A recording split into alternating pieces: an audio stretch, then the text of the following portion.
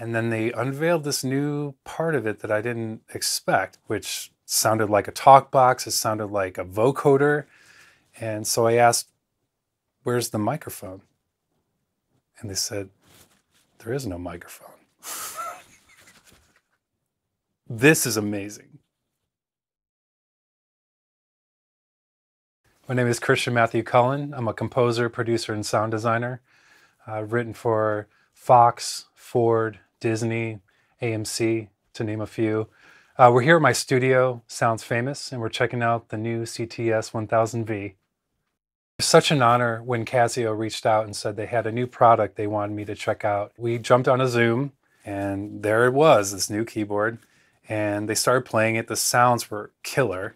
But what they showed me next, I wasn't quite expecting. It sounded like a talk box, it sounded like a vocoder. Um, they allow you to type in lyrics and play them on the keyboard, which is unlike if I had the talk box and I had to have a tube hanging out of my mouth or a, a microphone for a vocoder.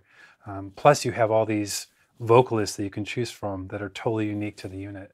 So once I got the CTS 1000V at the studio, I started playing with it and checking out all the sounds I could get with it. And I knew right away when I heard the vocal synthesis engine that I wanted to try it on a track I was producing for an artist. Kind of like a Chic meets Madonna, Daft Punk kind of thing. So let's check it out and see what we get.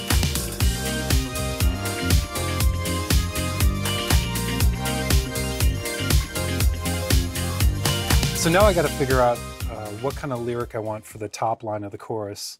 And I was thinking maybe can't stop the beat might be pretty cool. Can't stop the beat. Okay. So we'll save that. Now we're going to transfer it over to the keyboard. Can't stop the beat. I could do like, um, Can't stop the beat. yeah, that could work. Can't stop the beat. Or, or how about, um, Can't stop the beat. let's try it. Can't the beat.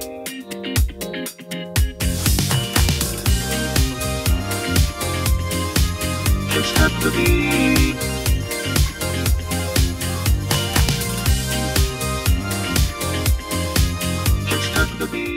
You can change the gender and the age of the voice. Stop the beat. That's a pretty cool effect in itself. Stop the beat. Okay, so I have this idea, do like a bottom thing. Stop the beat. That's sweet. Let's do that. Stop the beat. Okay, I have another little post hook idea that might be cool. Uh, lyric goes, That's know. Okay, let's transfer that over. That's all I know. That's all I know. That's all I know. That's all I know. That's all I know. That'll be cool. And maybe I'll double stack it and pan them wide. Can't stop the beat. That's all I know. That's cool. Let's double it. For the double, I think I'm going to change to, let's try choir group. That's all I know. That's all I know. Actually, let's do talk box. That's all I know. Yeah, that'll cut through a little better. Can't stop the beat. That's all I know. Okay, I got something. Normally it would be like a background vocal or something I would normally use TalkBox for. And I'd like to approach the part that way. Maybe what I'll do is each sound that I use, I'll I'll do a single note and track it. So I'll have three different tracks. Each one has a single note of the triad and kind of pan them out and just have this little vocal stack. Um, and I, I found this one phrase um, that it was told by accident. Give it to me. Give it to me. It was already actually in the keyboard. And when it hit the E, I thought it was really cool. And I thought, well, what if I hang on E and make that the syllable for what the vocal will be?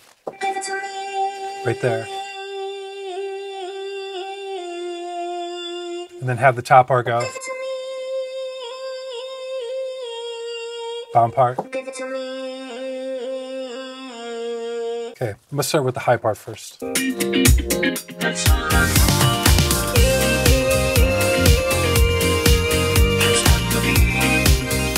Okay, now I'm gonna add the second part to this. To.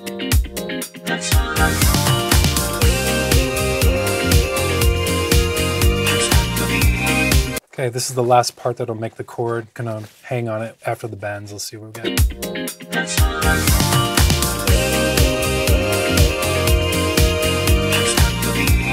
Yeah, I added a little vibrato at the end, so there's some difference between the tracks. This is the most amount of fun I've had making music and discovering it in a very long time. So you have to check it out for yourself.